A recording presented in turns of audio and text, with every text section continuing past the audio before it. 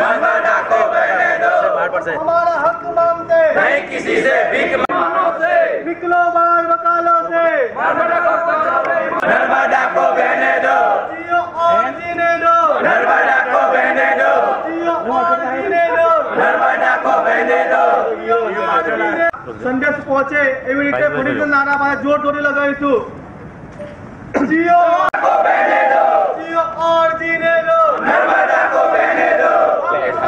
सकती है। नहीं किसी से। बचाओ। जीने बचाओ। नर्मदा को बचाओ। बचाओ और जीने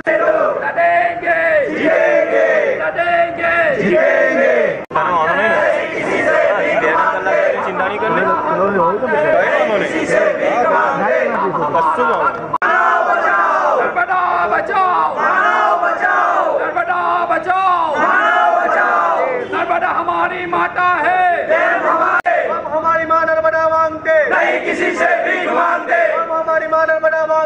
नहीं किसी से भीख मांगते नर्मदा को लड़ेंगे नर्मदा को बहने दो जियो और जीने दो नर्मदा को बहने दो देव हमारा खाता है नर्मदा हमारी माता है हमारा हक मांगते नहीं किसी से भीख मांगते हम हमारा हक मांगते नहीं किसी से भीख मांगते नर्मदा को बहने दो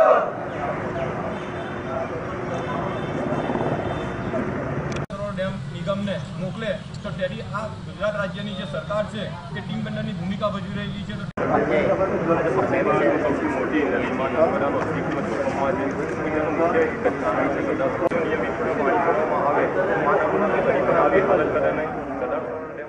સૌથી આજે આ તમને જોઈ રહ્યા છો કે નર્મદાની પરિસ્થિતિ કેટલી ગંભીર થઈ ગઈ છે.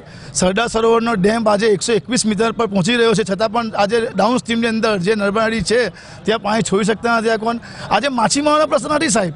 આ પ્રશ્ન છે, ખેડૂતોનો પ્રશ્ન છે ભરૂચની જનતાનો પ્રશ્ન છે, માછીમારોનો પ્રશ્ન છે અને માલધારી જે આપણે જે ભરવાડ લોકો જે છે તેનો બી પ્રશ્ન છે અને આ ભરૂચની જનતા છે એનો પ્રશ્ન છે. આજે આપણે જોઈ રહ્યા છો કે આ પાણી આખો સરકારને કેટલી વારંવાર રજૂઆત કરવા છતાં આ સરકાર હજુ સુધી સાંભળી શકતી નથી. અમે બે હજાર દસથી આ લડત લડીએ છીએ કે ભાઈ નર્મદાની સ્થિતિ હવે ગંભીર થઈ ગઈ છે, પાણી છોડવામાં પણ બિલકુલ પાણી છોડવામાં આવતી નથી. એના કારણે આજે આ નર્મદાની પરિસ્થિતિ તમે જો સફેદ રણ થઈ ગયો છે અને દરિયો આજે સાઠ કિલોમીટર અંદર ઘૂસી ગયો છે. અને માં નર્મદાની પરિસ્થિતિ એકદમ કપરી બની ગઈ છે અને માછીમારો ખેડૂતો અને માલધારીની પરિસ્થિતિ બિલકુલ ગંભીર થઈ ગઈ છે. અને આ લડત એક માછીમારની નથી, હજુ બી તમને કહું છું. આ લડત આખા બરોડા જિલ્લો છે નર્મદા જિલ્લો છે અને ભરૂચ જિલ્લો છે. એની લડત છે આ અને આ નર્મદાને બચાવવા માટે આપણે સૌ ભેગા મળીને આ લડતને આગળ થમાવીશું. અને આજે તમે જોઈ રહ્યા છો કે અમે બ્લડથી આજે કારણ કે આટલા વખતે સરકારને અમે પેનથી લખાવ્યું છે.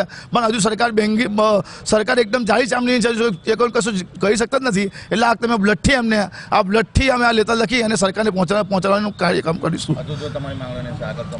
તો આજના માંગણી સ્વીકાર કરતો જો આગળ અમે ઉગ્ર આંદોલન કરીશું એનીથી કારણ કે હવે પછી તો જાગૃતો તો પડશે જ કારણ કે મા નર્મદાની પરિસ્થિતિ બિલકુલ ખરાબ થઈ ગઈ છે. એટલે હવે તો એને પછી જો આ આંધી બીઓના સામે અમે આંદોલન અમારું આંધી આંધી ઉગ્ર આંદોલન બનશે. સરકાર જો હવે પણ કોઈ નર્મદા બચાવવા માટે પગલાં ના લે કે સરદાર સરોવર ડેમમાંથી છ હજાર ક્યુસેક પાણી નહીં છોડે તો અત્યારે એક ગાંધી બાપુએ જેમ સત્યાગ્રહ કરેલો તે પ્રમાણે સત્યાગ્રહનો જે એક રસ્તો છે. જેમ મીઠા માટે દાંડી કૂચ કરેલી તે માટે અમારે કેવડિયા કૂચ કરવી પડશે અને કેવડિયા યાત્રા અમે કાઢીશું અને સરદાર સરોવર ડેમ પરથી પાણી છોડાવવા માટે અમે જાતે જ જનતા રેડ કરીશું.